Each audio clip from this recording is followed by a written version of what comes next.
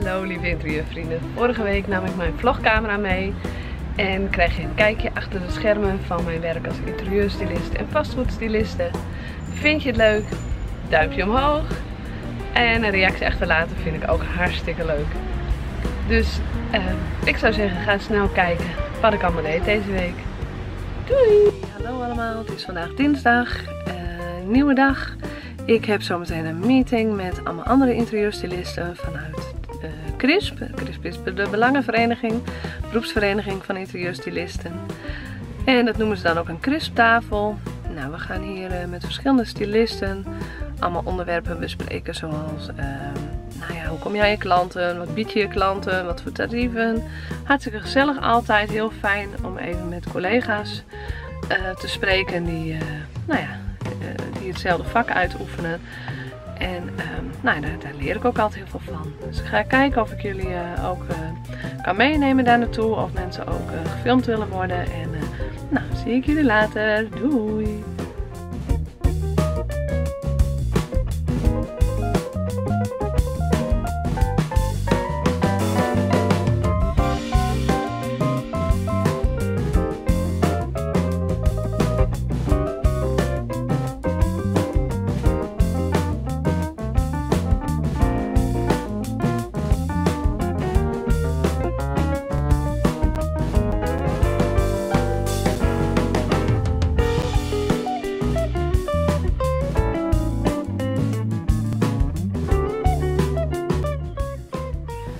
Aan de slag voor verkoopstyling. Spullen meenemen, het is prachtig mooi weer.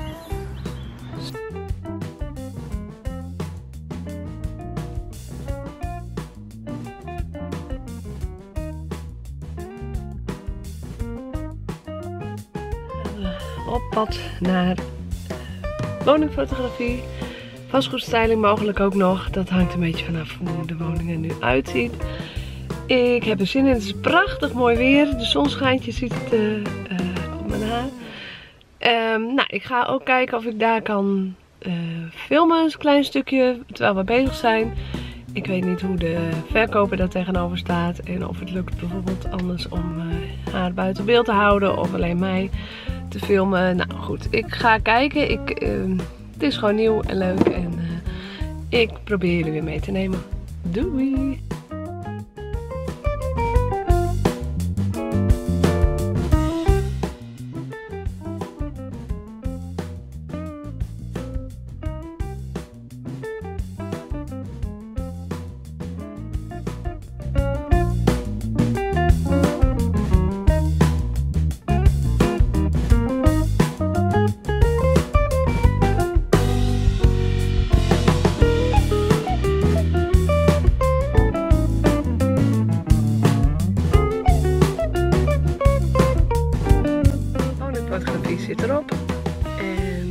Hartstikke lieve mensen. En er is nog een klein stukje, heeft haar zoon gefilmd. Dus hartstikke leuk dat jullie even een klein preview konden zien van wat ik uh, dan doe.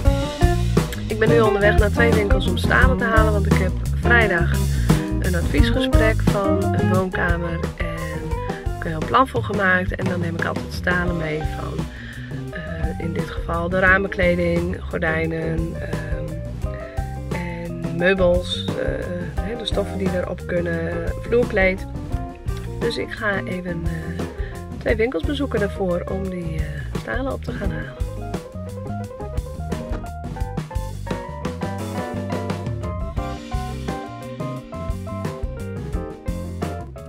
Ik ben in Burgen. Dit is de winkel waar ik de stalen ga halen. Het er erg leuk uit. Altijd een hele lieve, aardige mensen de buit. Gordijnen, in-betweens en uh, dupli gordijnen. Ik laat straks wel even zien wat er uh, tussen zit.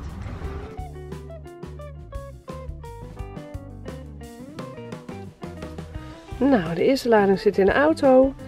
En nu op pad naar de volgende winkel voor de rest van de stalen.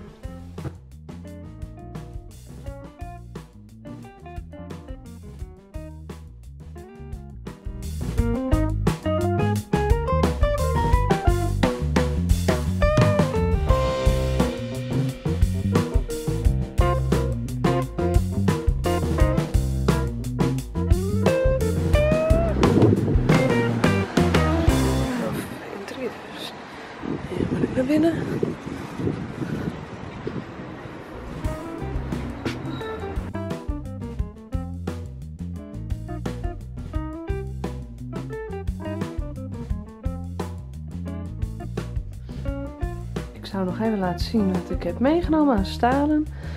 Dit zijn uh, dupli gordijnen. En er zitten hele mooie tussen. Ik zal even kijken. En dan kun je hele mooie uh, gefilterd licht eigenlijk bij maken. En heel vaak is het ook bottom-up, top-down. Dus je kan precies zien, precies bepalen waar je het op het raam wil uh, gaan doen lichte kleuren. En als er zo'n metalen strip tussen zit, betekent dat ze verduisterend zijn. Dus deze zijn vrij dicht. Dat zie je ook wel. Maar als je kijkt, verder kijken.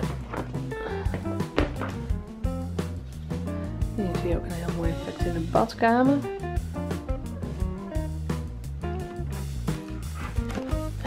En je hebt deze gordijnen. Deze zie je ook hele mooie structuren. Zoals deze vind ik zelf wel heel mooi. Lijkt je toch een beetje eh, linnenlook-achtig.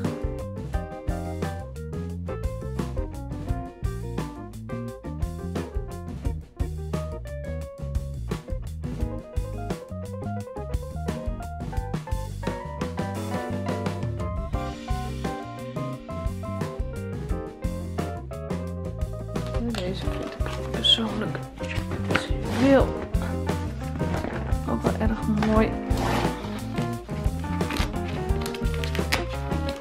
Een heel licht structuurtje.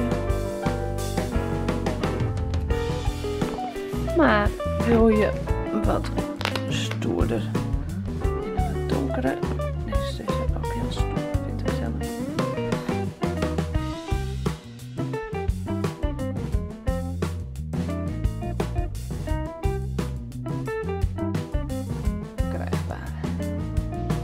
keus zat.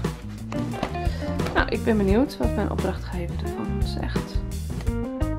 Het is vrijdag, het is nog vroeg. Ik hoor de vogeltjes fluiten, een duif en ik heb mijn auto volgeladen en ik ga pad voor interieuradvies te geven. Auto vol spullen, alle stalen mee en op pad gaan we terug van het interieuradvies. Ik ben helemaal vergeten te filmen. Zo enthousiast was ik bezig uh, met het uitleggen, met uh, de stalen laten zien. En ook de opdrachtgever was erg enthousiast. Ze gaan ermee aan de slag.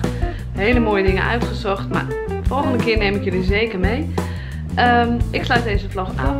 Volgende week zit ik in Athene in een heel leuk Airbnb. En ga ik op pad uh, daar de stad te verkennen oudheden, maar ook leuke shopadresjes ik van plan te bezoeken. Dus vind je het leuk? Blijf dan mijn kanaal volgen. Dikke duim omhoog en tot de volgende keer in Athene. Doei!